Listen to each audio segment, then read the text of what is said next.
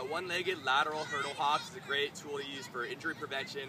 We're working on joint stability of the hips, knees, and ankles. We're going to be starting on one leg and we're going to be jumping and landing on the same leg as we go over the hurdle sideways.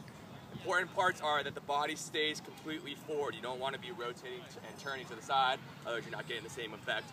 Um, you also want to make sure that when you're laying, the foot and the toes are pointed straight ahead. You don't want them uh, rotating in or out. And lastly, you want them landing on a nice bent leg so that we can cushion the, the impact of the landing. If they're landing on a straight leg, that's when you put the joints at risk for injury.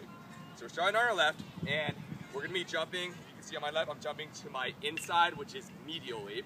So if I'm jumping to the, to the right, I'm getting a nice medial jump, landing. Once I get my balance, I can jump to the next one.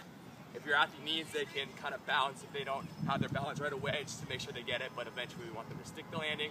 Once we get out here, we're done with our medial jumps, and now we're gonna be jumping to the outside of our leg, which is our lateral jumps, uh, which is working on a different muscle group. So we're gonna be jumping back laterally, staying forward, nice cushion landing, and those are one-legged lateral hurdle.